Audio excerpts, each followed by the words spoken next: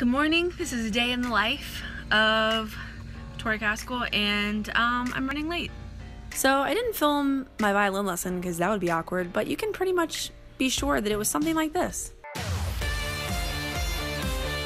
So here I am again. Uh, I'm about to film a vlog with Kirsten. And no wait, this is a vlog. We're not. It's not a vlog. This is a video that we're gonna do for LuLaRoe. Um, so far today, I've done a lesson and done some work. Whoops. And talked to Amber, my friend, and talked about the Sunday services. And now I'm switching over. Oh, and I created a couple events on Facebook for LuLaRoe, and then here I am. This is called a dead cat. for for obvious reasons. when you don't want other people to notice that you're filming yourself. Enjoy.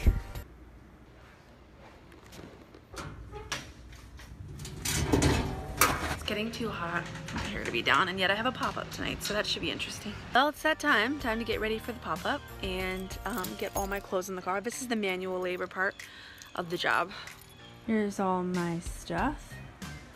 It's definitely organized even though it doesn't quite look it. It's getting ready to go in this car. Oh, wow. All right, here we go.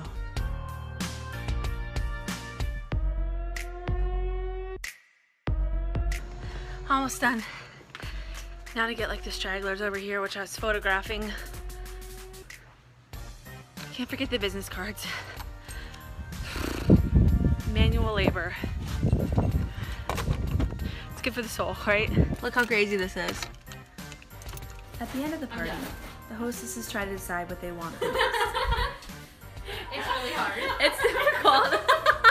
to sum it all up, my days are crazy and full, but they're so fun, and LuLaRoe has just added to the fun in my life. It's so amazing. Follow me on the Soch.